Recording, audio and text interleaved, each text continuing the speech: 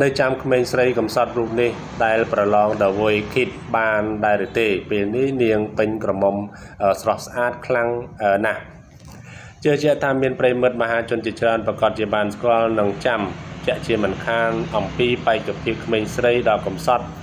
ខុយមេងហៀងដែលបានធ្វើការចូលរួមប្រកួតប្រឡងប្រជែងចម្រៀងរំលាប់ពិភពលោក The Voice Kids រដូវកាលទី1រហូតឈានដល់វគ្គផ្ដាច់ព្រាត់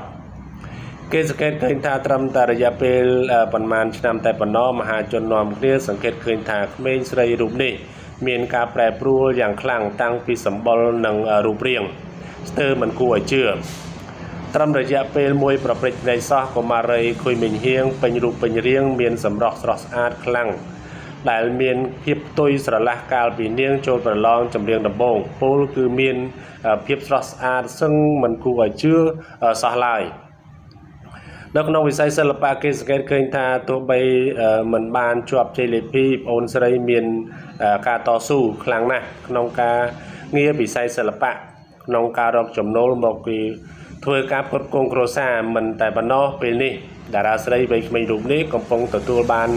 នៅការគ្រប់គ្រងជាច្រើនពីទស្សនិកជនជាច្រើនផងដែរបាទប្រិមិត្តប្រកាសជាបាទមិនទាន់ភ្លេចទេបងអូនស្រីខុយមីងហៀងបាទបេក្ខជន The Voice Kids ឥ ឡូវនេះបាទរូបសម្រស់បាទរបស់អូនស្រីបានប្រែប្រួលហើយបាទព័ត៌មានមានតែប៉ុណ្ណេះសូមអរគុណនិងសូមជម្រាបលា